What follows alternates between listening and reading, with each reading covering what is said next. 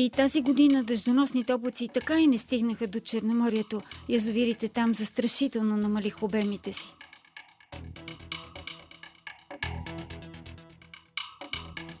И не само пресния спомен от водния режим в Перник изостря сетивата на всички. Водна криза в курортите би била много по-унищожителна за туристическия бизнес. Ефектите биха засегнали цяла България. И алармата сега е крайно наложителна. Не паднаха снегове, нямаше нормални дъждове. Два пъти по-малки обема на язовир Камче в сравнение с миналата година. Ми, тя, та, водата постоянно се понижава към днешна дата, защото няма валежи. Макар и да приближава, източна България все още е далеч от кризата. За разлика от пернишкия модел, алармата сега е включена на време, за да се вземат адекватни мерки. Някои са в ход. Язовир тича, има вода за две години. Там сме помолили Търговище и Шуме да включат собствени водоисточници, имат сондажи. Промишленото водоснабдяване. Ние даваме вода за пиене, пък те я дават на промишлеността да я прекратат. Промишленото водоснабдяване да бъде също на сондажи. Язовир Камче, който захранва и Варна и Бургас, има вода за 10-12 месеца. Но Варна може веднага да се включи към девненските карстови избори и да остави повече вода в Камчия за Бургас, където нямат кой знае колко альтернативни варианти. Какви Ами са да- ви резервните източници? Язовир Ахелой и Порой в момента се използваха за напояване и тъй като напояването много падна в държавата, се надяваме, че тези два водоисточника ще можем да ги направим за питейни, питейни цели, да ремонтираме част от съоръженията, нали, за да сме сигурни, че са изправни и да ги включим в деривацията за град Бургас. Язовири пак разчитат на валежите. И да, няма от друг Нещо, водосбор. което да- От друг водосбор. В Бургаска област няма подземни водоизточници, за съжаление. В момента Ахило има около 2 милиона кубични метра вода, порой около 12, които в случай на нужда да бъдат включени допълнително за водоподаване, захранване на потребителите. Надяваме се, че Министерски съвет с негово решение ще прехвърли тези два язовира, които в момента са към напоителни системи и ще бъдат в наше владение. Ние ще се умеем по най-бърз начин да включим тези два язовира към деривация Камча, за да могат те да водоснабдяват нормално Слънчев брак, Несевър, Равда и другите курорти по Южното Черноморие. Водата на язовир Цонево също може да потече към чешмите на варненци, но освен, че ще чака прехвърляне от напоителни системи, там трябва да се построи пречиствателна станция. Така че Цонево е добър резерв, но не за тази суша. Някъде около на месец, около 3 милиона а, кубика вода ние даваме на а, девненските заводи.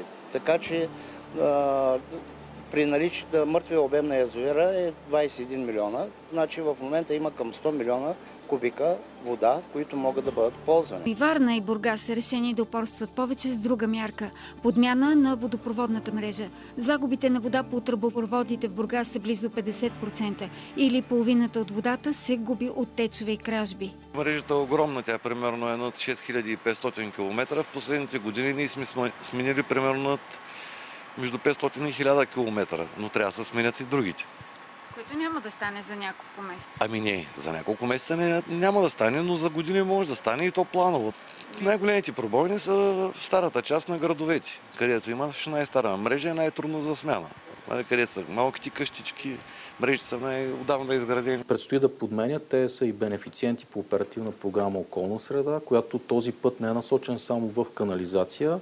Този път е насочен и в мерки за а, намаляване на загубите по водоснабдителните системи. Специално Бургас се пребори за много голям финансов ресурс от оперативната програма. Разработването на альтернативни източници е задача не само за Бургас и Варна. Повечето градове нямат такива. Пловдив е само на кладенци и частично от планината. Ако пресъхнат кладенците, какво правим? Добре е, че го има. Кричим, но трябва да се помисли как да се захрани. Стара Загора е само на кладенци. Ако пресъхнат кладенците, затова ние следим нивата.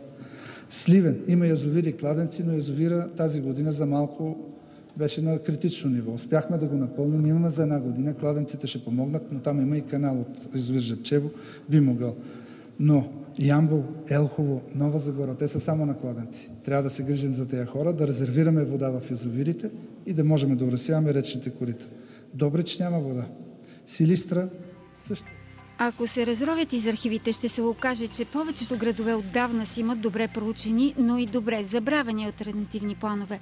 Подобни излязоха насред кризата и в Перник, но нито един не можа да бъде задействан моментално. Тук има ли подобни планове, които така са неглижирани? Да, да ви призная, все по-често при мен идват хора на пределна възраст, ще каза, които преди години са работили в системата и казват, ама ние това сме го мислили, имаме готови решения. А, така че очевидно има такива решения. Но разработването на альтернативни източници не е безспорна мярка. Ще вдигне цената на водата, така че тези решения трябва да бъдат прияти от хората. Стига да има кой да им ги разясни и че рано или късно те трябва да бъдат прияти. Една от целите и на български ВК холдинг и това да гледа в перспектива как може да се решават такива проблеми, свързани с засушаването. Има страни като Испания, където отдавна това е проблем. Те са създали цяла система от резервни водоисточници, които се включват според ситуацията. Освен хидроинженерни решения и подмяна на водопроводите, водните кризи са функция и на друг огромен проблем – липсата на квалифицирани кадри. За това алармират от синдикатите ниски заплати.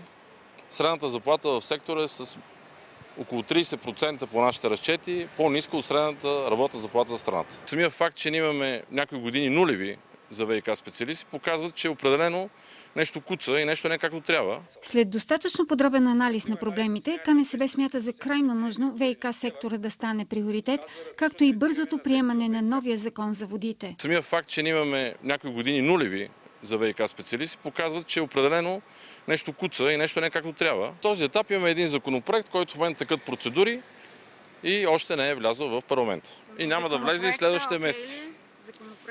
Законопроекта, да кажем, че полага основите за една промяна, Част от нашите искания са вътре, а именно за публичния характер да се запази на сектора. Състоянието на язовирите и нужните мерки са описани от всички участници във ВИК сектора и ще бъдат докладвани от Екоминистерството пред кабинета. Невиждано до сега сработване и координация между всички в сектора. Ще ви дам много конкретен пример. А, ние като холдинг трябва да стабилизираме финансово а, някои ВК-та, които са в много тежко финансово състояние и то се дължи до голяма степен от това, че те не са плащали през годините така наречена такса водоползване. Тази такса е дължима от ВК-тата към държавата. Сега са договорили, че ние ще ги подкрепиме те да си платят старите задължения, които възлизат на около 100 милиона лева. И министър на консерва водите се е съгласил те веднага да бъдат вложени в мерки свързани с намаляване на загубите, с направата на такива ключово важни съоръжения в ВК отрасъл, което вече означава, че работиме екипно и целенасочено.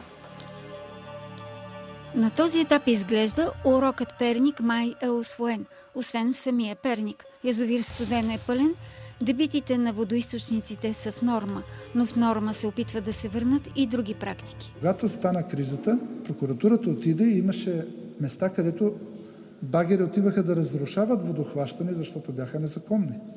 Те за тези месеци не са станали законни. Отидох и проверих всичките възможни водохващания, които пълнат язовира.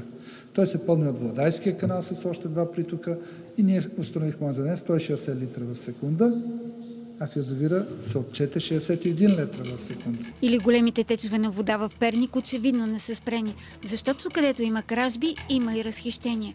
Впрочем, кражбата на вода е криминализирана, а санкциите са по наказателния, не по гражданския кодекс.